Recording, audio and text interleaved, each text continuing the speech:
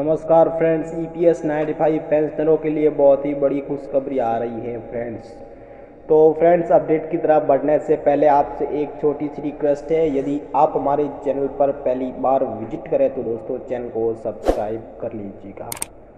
तो फ्रेंड्स, आप सभी को बता दें कि E P S ninety five pension अब होगी double finance ministry E P F को मिलकर बनाएँगी नया प्रस्ताव। जी हाँ friends E P F O सदस्यों के लिए बहुत ही अच्छी खबर है।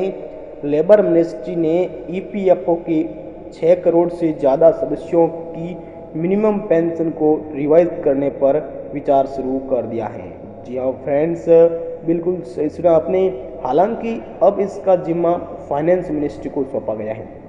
सूत्रों ने बताया कि फाइनेंस मिनिस्ट्री मिनिमम पेंशन बढ़ाने के साथ यूनिवर्सल पेंशन शुरू करने का प्रस्ताव करेगी।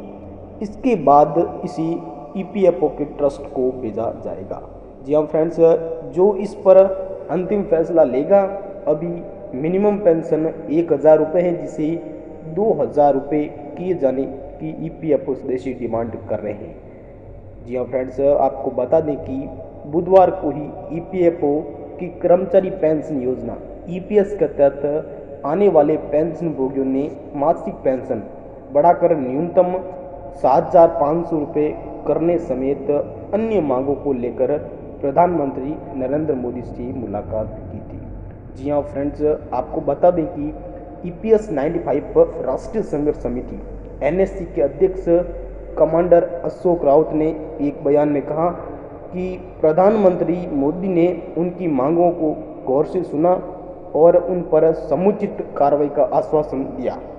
जी हाँ फ्रेंड्स, पेंशन भोगी, मूल पेंशन सात हज़ार पाँच सौ रुपये मासिक के साथ, महँगाई भत्ता और पेंशन भोगियों के पति या पत्नी को मुफ़्त स्वास्थ्य सुविधाएँ देने और E P S ninety five के दायरे में नहीं आने वाले रिटायर कर्मचारियों को भी मिनिमम पाँच हज़ार रुपये मासिक पेंशन देने की मांग कर रहे हैं। जी हाँ फ्रेंड्स, कमांडर अशोक जी रावत ने दावा किया है कि कर्मचारियों के ईपीएस मद में 30 साल की नौकरी में 20-20 लाख रुपए तक जमा होने के बावजूद अधिकतम मासिक पेंशन दो हज़ार पाँच सौ रुपये तक ही मिल रही है।